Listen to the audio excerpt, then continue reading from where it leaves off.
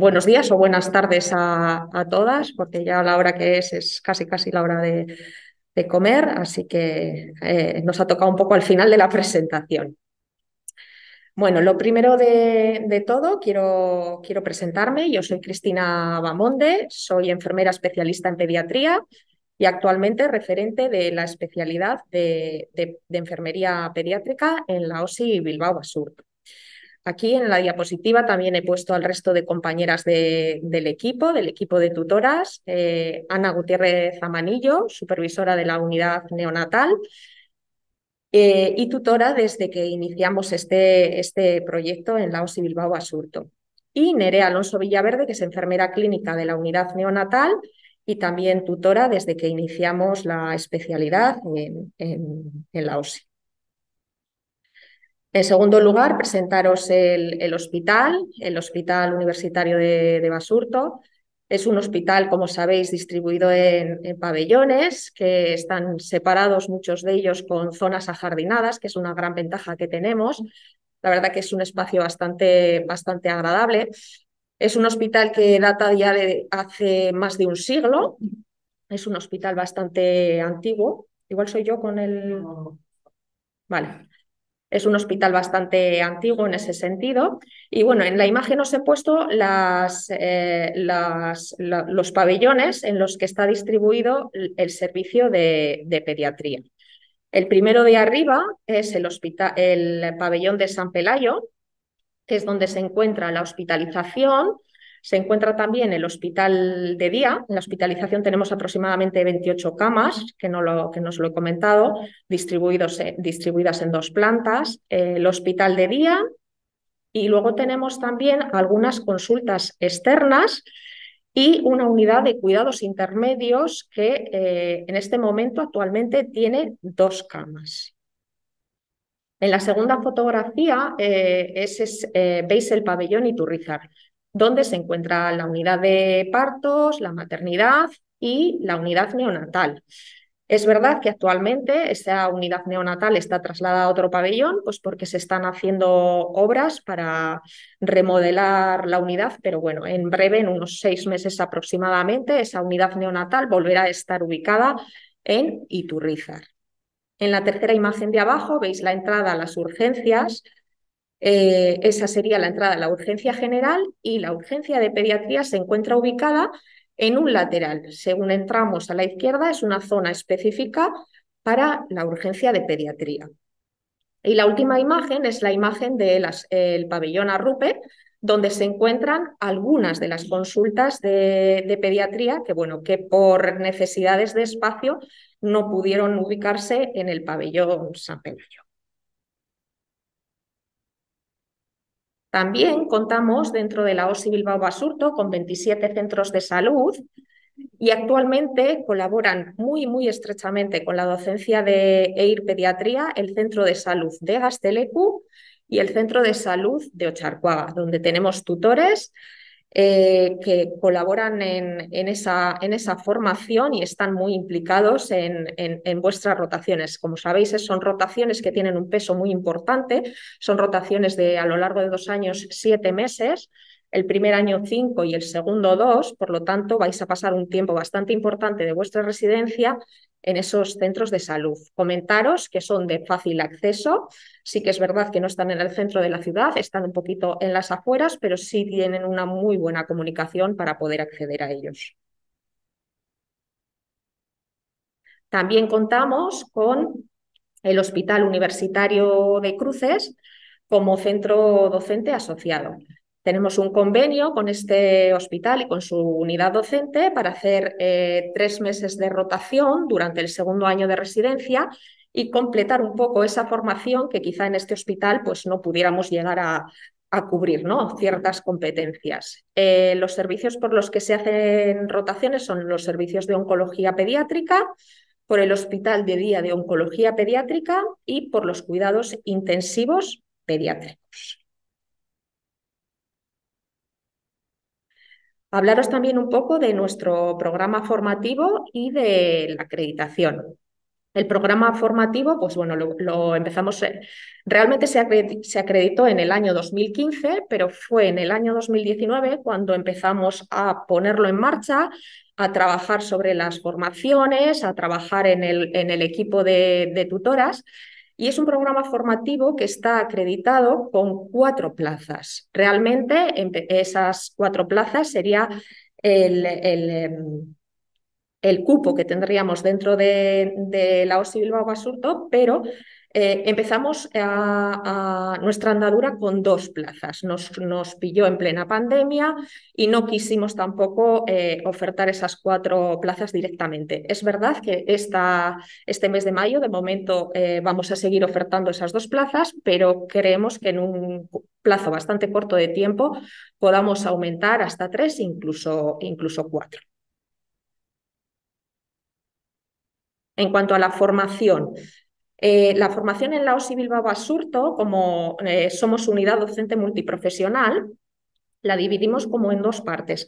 Una de ellas es la formación común transversal, que es la formación que se ofrece sobre las eh, competencias comunes y transversales de todas las especialidades, aunque también es verdad que existen cursos específicos para la especialidad de pediatría son formación sanitaria especializada y también la plataforma Hacking Area de formación las que os van a ofertar estas formaciones. Luego, por otro lado, tenemos la formación en el servicio, donde se ofrecen cursos y se ofrecen sesiones clínicas también. Dentro del programa común complementario, estos son una relación de los cursos, algunos de ellos, no los he puesto todos porque pues bueno, quedaría muy largo en la diapositiva y he querido nombrar un poco los más, los más importantes. Este, este, año además se ha incluido uno de prevención de riesgos laborales, que lo he, lo he incluido como, como, primera, como, primera, opción. Eh, después formación en igualdad también se hace, herramientas informáticas, RCP pediátrica neonatal, básica y avanzada, protección radiológica, que es un curso obligatorio para nuestra especialidad, comunicación en pediatría, que también es un curso muy interesante. Se hacen también unas jornadas de seguridad clínica para todos los residentes, curso de bioética y legislación obligatorio también.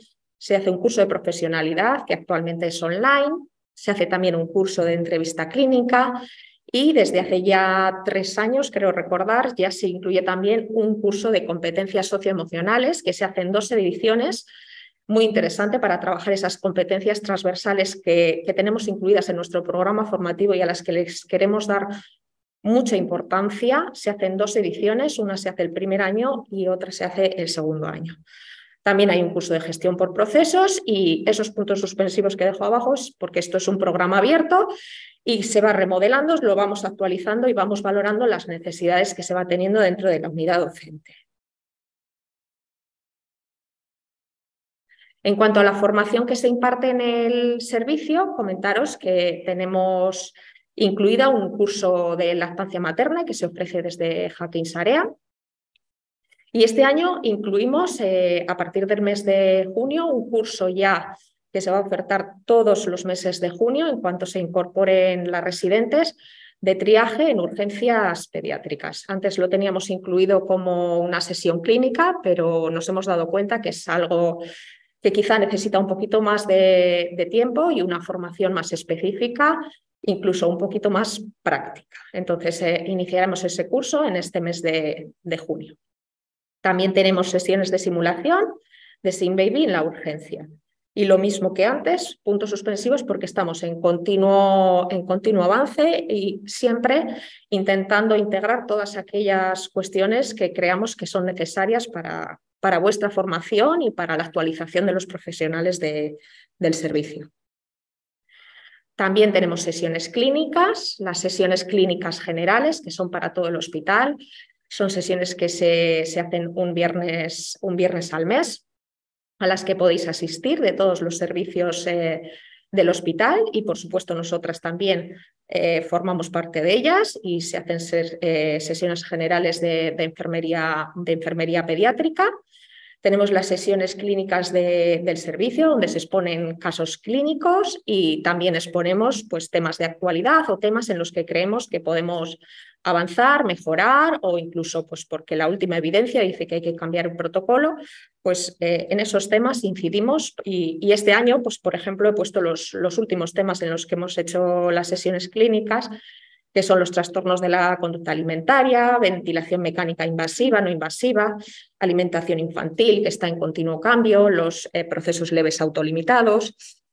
Hablamos también del método canguro y también hacemos mucho hincapié en el acceso vascular ecoguiado, porque creemos que en pediatría es una pieza fundamental para, para nuestros pacientes, ya que la mayoría de ellos son, son catalogados como pacientes DIVA.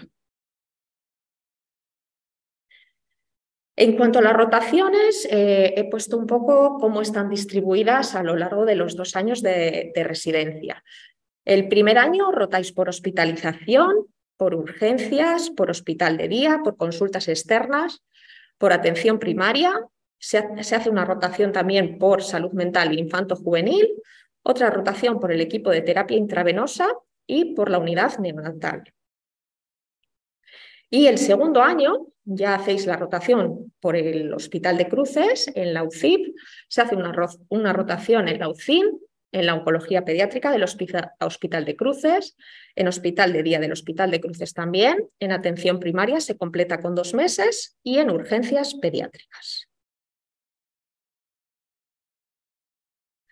Os he puesto aquí, por si queréis hacer alguna fotografía, un poco el borrador del calendario que hemos preparado ya para el año que viene. Ya sé que hay alguna cosa que no vamos a poder ubicar dónde está, pero bueno, más o menos esa sería un poco la, orientación para que la, para que la tengáis. Vale, en cuanto a las guardias, eh, este tema lo hemos cambiado a lo largo del último año, pues porque hemos llegado a un acuerdo entre todas las unidades docentes de las diferentes OSIS de Euskadi para poder hacerlo de forma similar en todas. Y el acuerdo al que hemos llegado es que van a ser entre tres y cuatro guardias al mes en meses alternos. Quiere decir, un mes tres y al siguiente mes cuatro. Esas guardias se van a hacer en turnos de tarde y una de esas guardias sería en, coincidiría en fin de semana.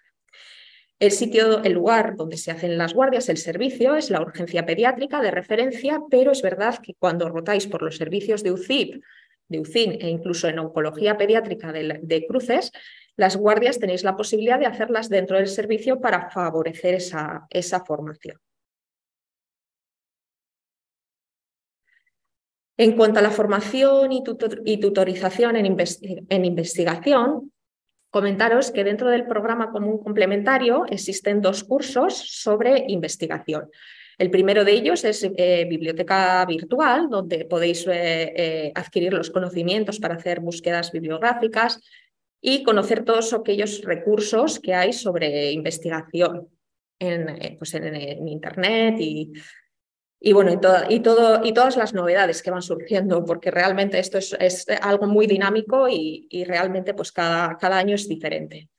El otro curso es el de metodología de la investigación, que, es un curso bastante amplio, que creo que lo acaban de hacer ahora las residentes.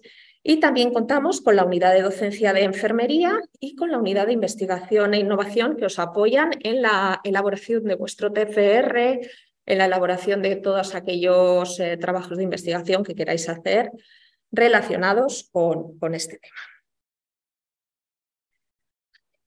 También comentaros que nuestra nuestra OSI apuesta por la investigación y por la innovación y estamos adheridos al proyecto Nursing Research Challenge.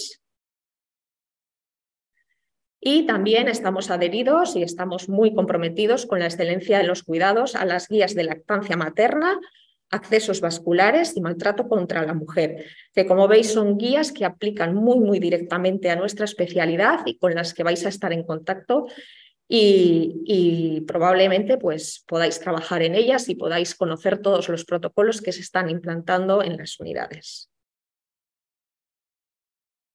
Pues esto es todo lo que yo quería contaros.